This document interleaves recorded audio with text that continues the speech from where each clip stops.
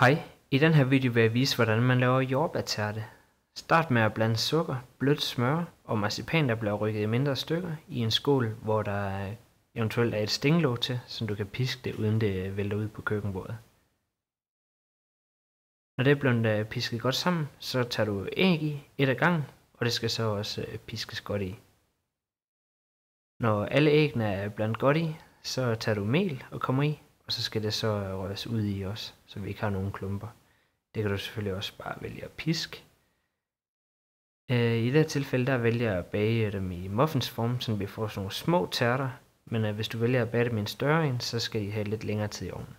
Men 175 grader i et kvarter til en halv time. Så tager vi dem ud og lader dem køle lidt af. Imens så kommer husblast i vand, så det lige kan bløde lidt ud. Så tager jeg vanilje og skraver ud af stangen her, og kommer op i sukker, hvor jeg lige blander det godt sammen, så vi får kornene skilt ad. Derefter så kommer jeg det op i mælk, hvor jeg blander pasteuriseret æggeblomme i, maizena, og så varmer jeg det bare langsomt op, og når husblasten har været i blød i 10 minutter, så smelter jeg den hernede i. Det må aldrig nogensinde komme til at koge, fordi så øh, skiller den grund af vores æg, der er kommet i. Men når den er blevet godt tyk, så tager jeg den op og kommer den på køl. Så tager jeg de her marcerintærter og kommer lidt chokolade ud over. Det kan du smelte i mikroen ved kort tid. Når vores øh, masse har stået og kølt af, så kommer jeg mascarpone i, blander det godt sammen. Når jeg har blandet det rigtig godt sammen, så tager jeg altså flødeskum og blander i. Det er lidt en smagsag, hvor meget der skal i.